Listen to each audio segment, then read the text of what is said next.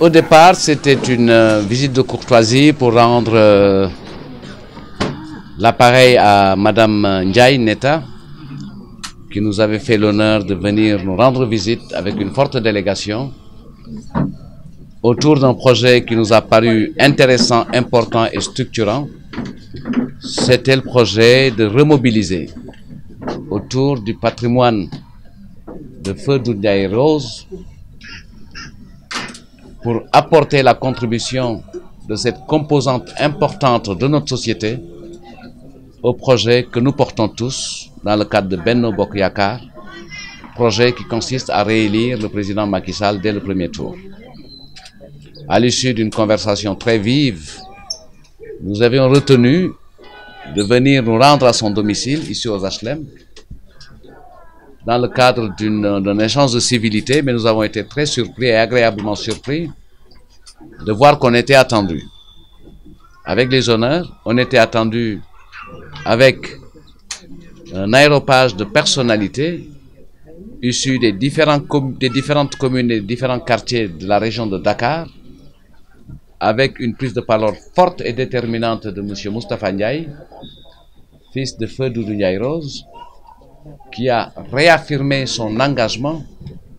son ancrage à mobiliser, son ancrage dans le cadre de la majorité présidentielle, sa détermination à mobiliser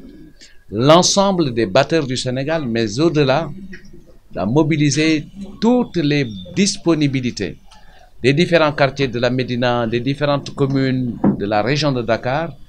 pour engager la marche triomphale vers 2019 marche dans laquelle nous voulons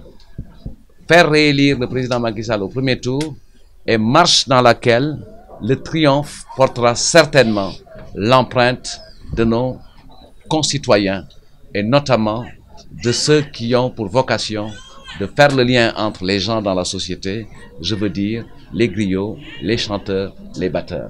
Et on a retenu le principe de nous revoir pour élaborer les thèmes de référence qui devront nous permettre de structurer un mouvement de portée au moins régional ou national pour engager ce défi, ce challenge qui est à notre portée puisque nous sommes arrivés et nous avons rencontré des hommes et des femmes convaincus de la pertinence du vote pour 2019 en faveur du président Macky Sall au regard de la beauté, de l'immensité de son bilan puisqu'il est unanimement reconnu que jamais de mémoire de Sénégalais. Nous avons eu un président qui a réalisé autant en si, peu de, temps